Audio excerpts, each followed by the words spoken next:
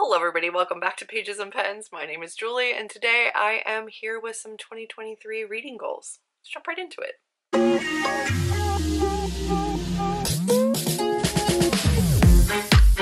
I'm doing some end of the year bulk filming because I have time today. So we're just going to ignore the fact that like the last four videos or what will be four videos, I'm wearing the same exact thing, right? We're fine with it. I wanted to talk about my 2023 reading goals because I've already filmed my writing goals. I don't know what order everything is going up in, but I have a lot of them.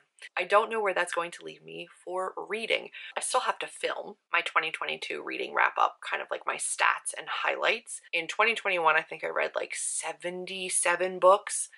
Last year, I know for sure I read double that, at least. Um, I'll have to look at all of my stats when I film that video. I don't know that I'm going to be reading that much in 2023.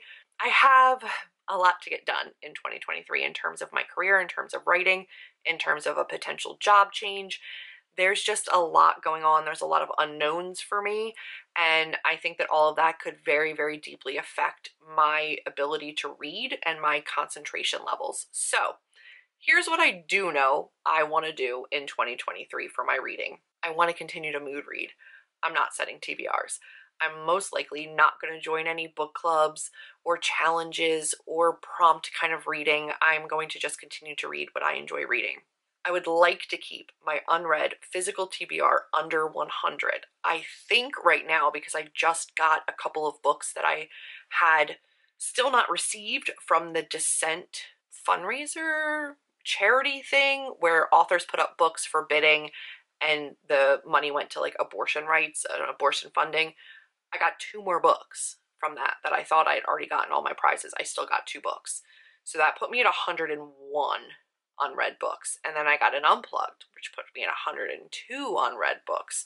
And I know for sure I ordered some exclusive editions that are coming. I haven't read everything that I've ordered.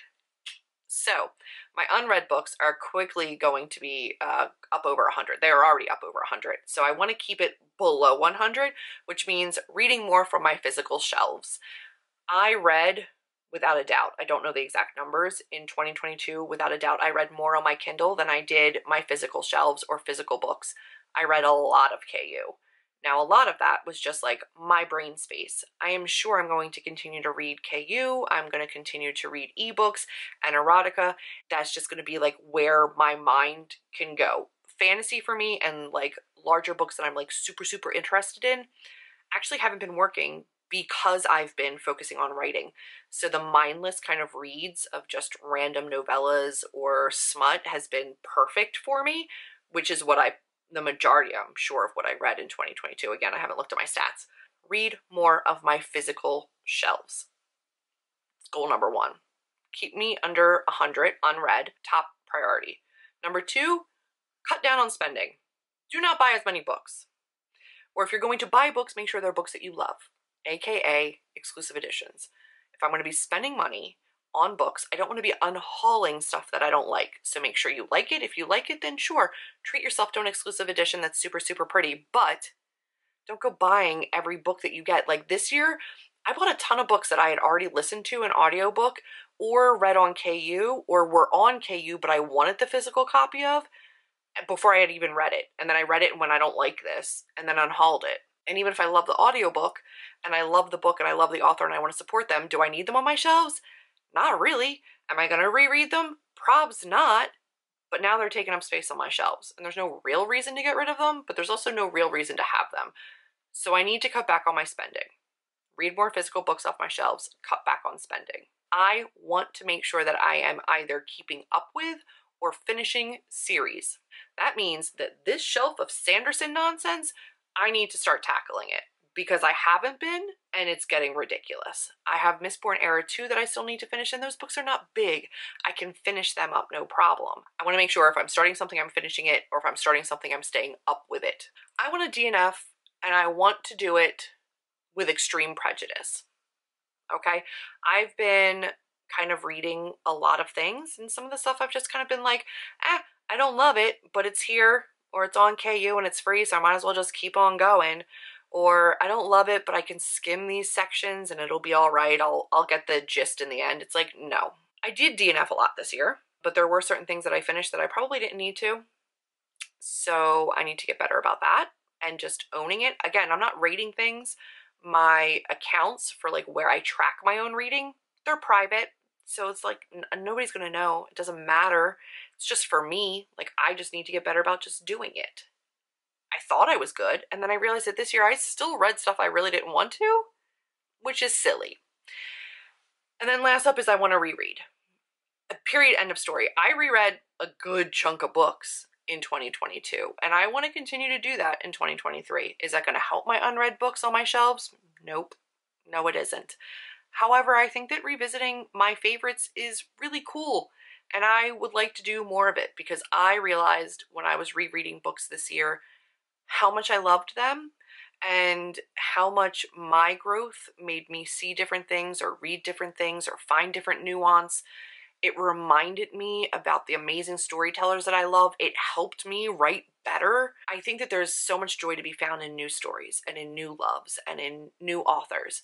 But there's also something really fantastic about revisiting things that you know you love and then looking at it through a different lens and taking different things from it and I want to be able to do that. So I want to take time to also reread some books. So if you see me not rereading, you feel free to scream at me. And then kind of similarly, I want to be really, really, really cutthroat about what I actually accept in ARCs and or ask for on NetGalley or from publishers. Um, I get publishers that reach out to me a ton. Can we send you this? Can we send you that? A lot of them go unanswered or just like, thank you for thinking of me, not interested because I just don't have the time to read. Some of them I genuinely am interested in and then I grab them. Uh, or some I'm like, oh, that's a kind of a cool premise. I might end up enjoying it, but then I never read it before the publication date. And I know as an author, that sucks. I don't want to do that to people. Like, they're a huge publishing house. I'm they're not waiting on me, but still. And then on NetGalley, I kind of go like willy nilly, and I'm like, uh, you know, that looks cool. I'll get that. That looks neat. I'll get that. And then I'm stuck wanting to read them because I don't want my score to go down and I want to be able to continue to like get the books that I really want. So I need to be careful about that. There are certain authors that I will go on there and look for all the time. And if they have one that pops up on there, I'm going to request it. Period. End of story. They're favorite authors, they're auto buy authors. I know I'll get a physical copy later anyway, but if I can get it early, I'm gonna. Those things I'm okay with. And I've gotten better at the end of 2022 about that, but I need to make sure I carry it into 2023. I'm auto approved for a couple different publishers on NetGalley, and I'll often just go, ah, I know I can get it, so I'll just get it. And then I'm like, why did you do that? Because now you have to now you have to read this thing so that you can give it a, a rating and a review. And you didn't really need to do that just because it's there, you know? You know where I'm at. I'm sure as a reader you totally understand that, but that's that's where I'm at. So I need to get better about that too. Those are my reading goals. I I genuinely just hope that I continue to read what I love and what inspires me and or what I need to give my brain a break. I, I don't want to have to police my own reading or say that I have to read a certain thing.